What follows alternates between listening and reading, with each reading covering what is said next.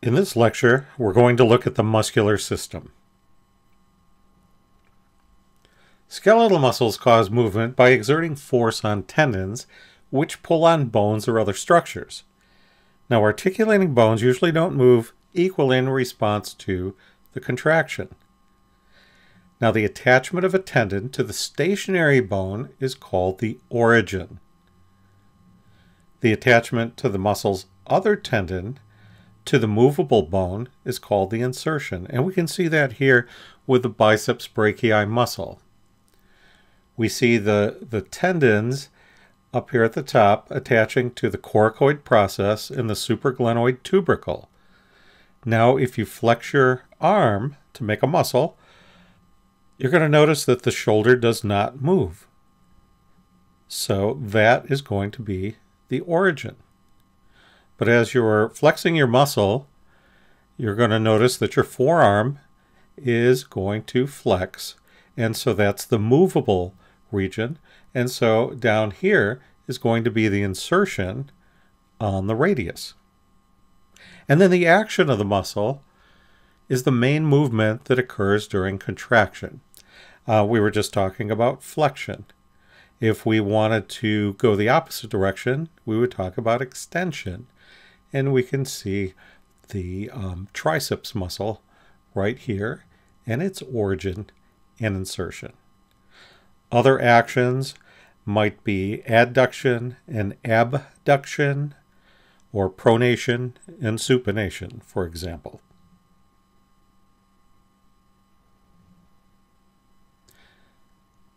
Now, lever systems. A lever is a rigid structure that can move around a fixed point called a fulcrum. And a lever is acted on at two points um, by different forces.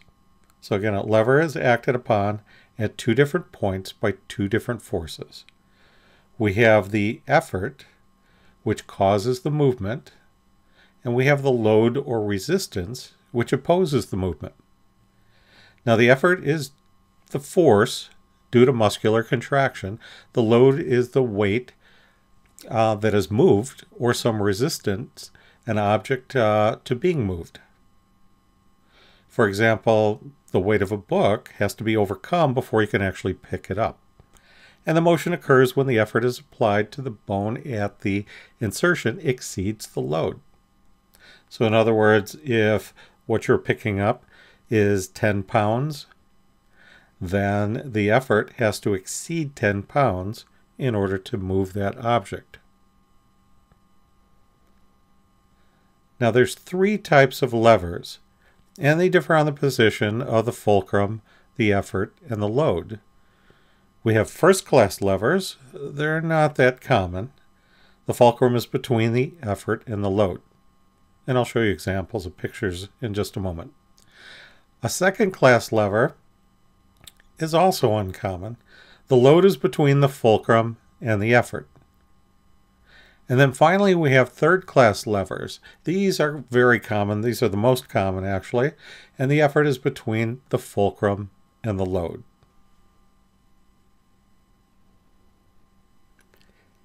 And here's some examples of classes of levers. As you can see in the first class lever, the fulcrum is between the effort and load just like a seesaw or teeter-totter, or, anatomically, head movement. The second class lever, the load is between the fulcrum and the effort, just like in a wheelbarrow, or standing up on the ball of your foot. And the third class lever, uh, the effort is located between the fulcrum and the load, and this would be an example of a person using a shovel, where the fulcrum is backed by the handle, the shaft of the shovel is where the effort is applied, and the load is on the end. Now this is the most common type of lever, the third class lever.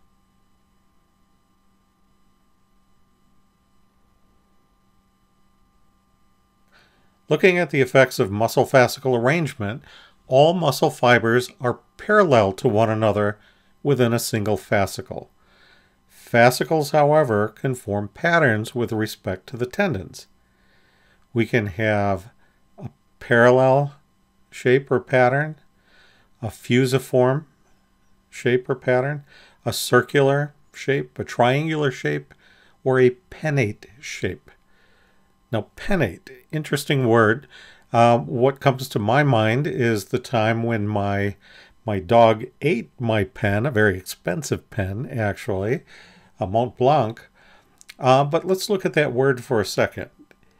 Um, think about colonial times. What did they use as a pen? Well, if we look at the Latin derivation of pennate, which is pinnatus, which means feathered or winged, and in the old days, they used to use feather pens. So I want you to keep that in mind. Pennate means feathered.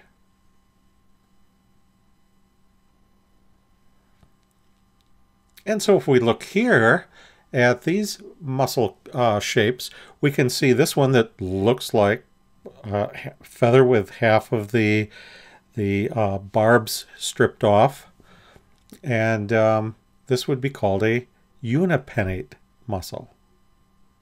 And the tendon here would be like the shaft of the feather.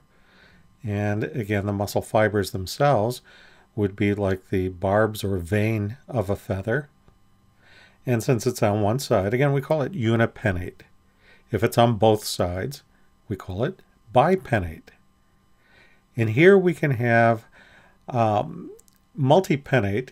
And multipennate is a muscle with several tendons of origin and several tendons of insertion in which the fibers pass obliquely from a tendon of origin to a tendon of insertion on each side. And they can come together uh, down to one tendon. And we would consider a muscle like that a convergent muscle. And some other shapes uh, that we mentioned are parallel muscles or circular muscles. Let's take a look at some other muscle shapes. And some of these shapes are how we might even name muscles. For instance, this one right here, the quadrangular muscle, I'm thinking of like quadratus femoris, for instance, or pronator quadratus muscle. It would be this shape. Or the trapezoidal muscle. Any guess what muscle would be trapezoidal? How about the trapezius? Down here we have the rhomboidal muscle. So the rhomboids would be an example.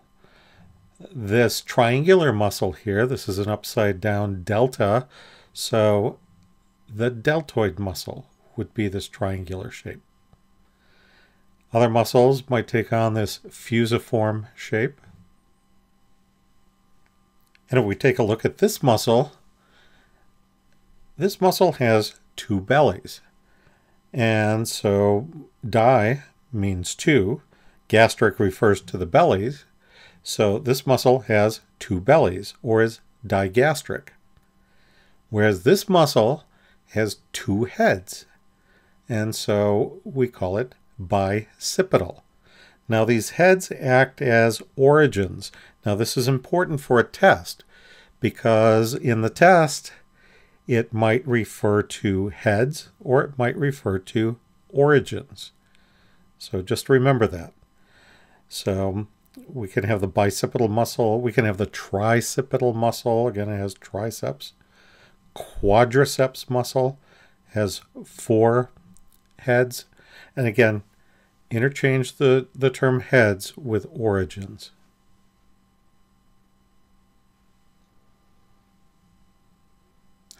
Now, muscles are named according to a number of different things. One, it could be named by location, such as pectoralis, which is in the chest. Gluteus, well, you know where your gluteus maximus is, correct? Or brachial, meaning arm.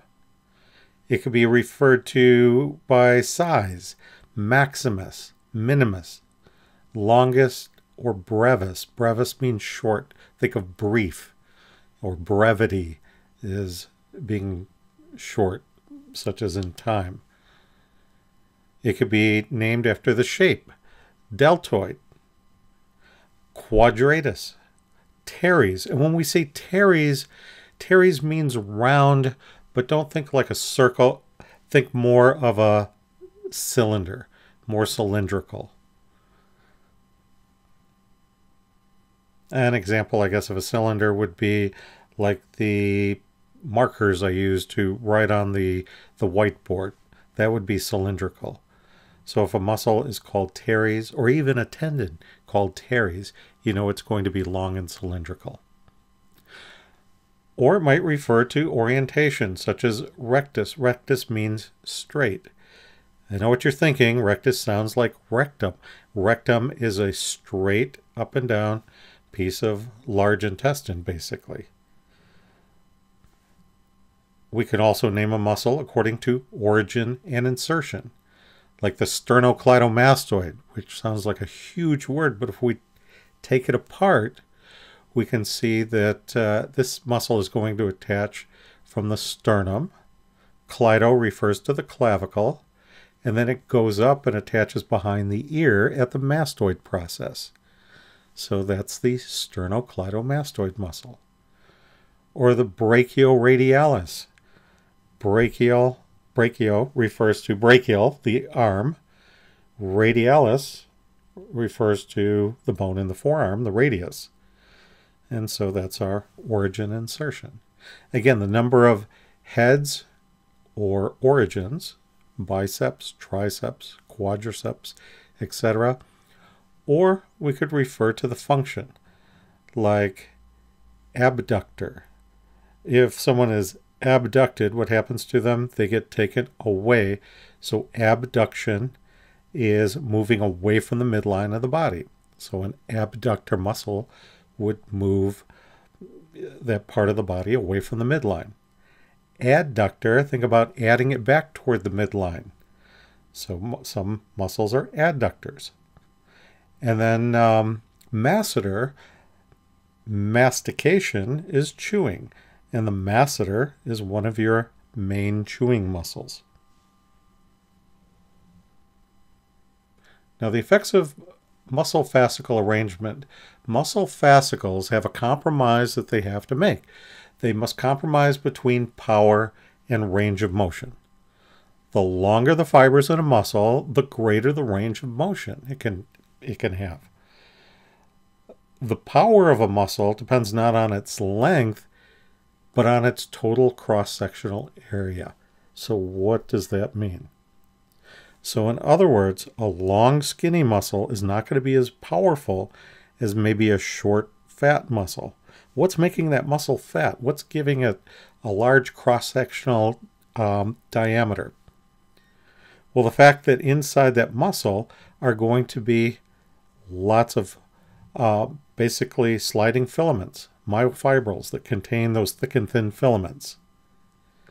The more of those you have, the stronger the muscle is going to be. And then coordination among muscles.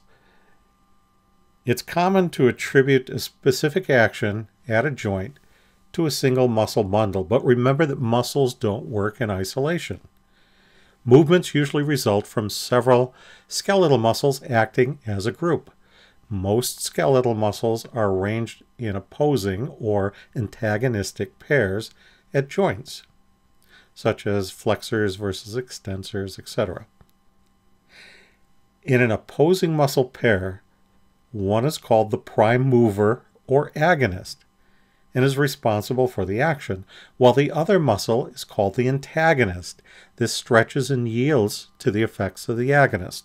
An example would be, again, if I'm going to flex my arm, my biceps brachii muscle is going to be the prime mover or agonist.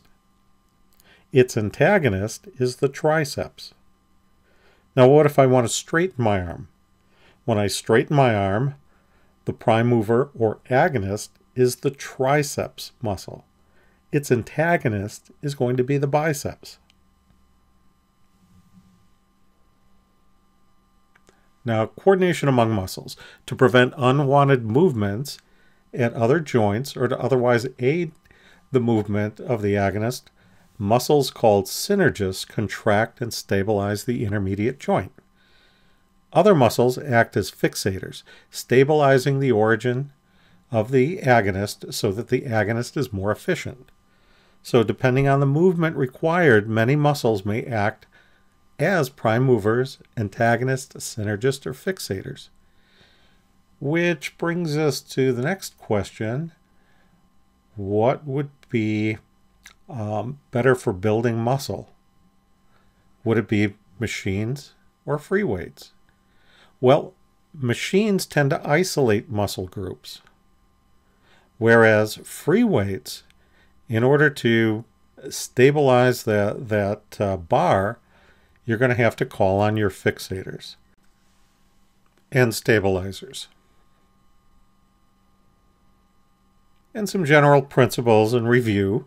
Tendons, again, attach muscles to bones, as opposed to ligaments, which attach bone to bone.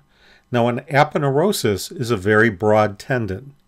An example would be the tendon that attaches the frontalis muscle on the skull to the occipitalis muscle.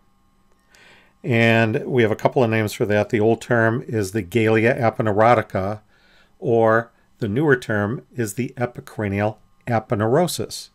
Now, muscles, uh, again, we have origins or heads. It's the muscle end attached to the more stationary of the two bones.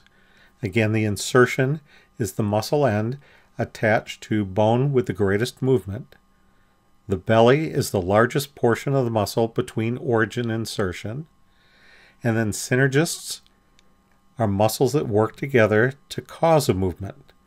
Again, a prime mover plays a major role in accomplishing movement. An agonist is a muscle causing an action when it contracts. The antagonist is a muscle working in opposition of the agonist. And fixators stabilize joints uh, crossed by the prime mover.